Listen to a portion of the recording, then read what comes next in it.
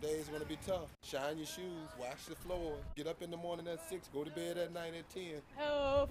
Help! You've got to stay in step or you're out here at Fork Union Military Academy, and sometimes the transition from public school to cadet can be tough.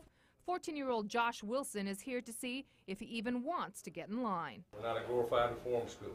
We're here to educate, not to rehabilitate. Josh is just one of 3,500 boys who applied this year to Fork Union.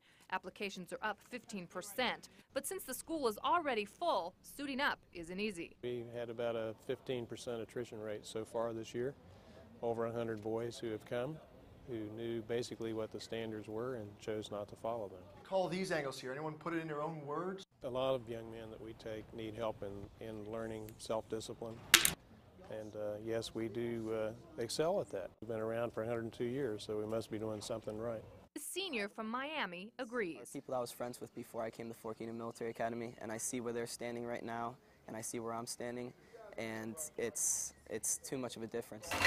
Josh's mom says her son needs more than what public schools can offer. I think they've done all they can do for Josh at this point um, academically. Their sons will receive uh, discipline and structure, plus uh, spiritual growth.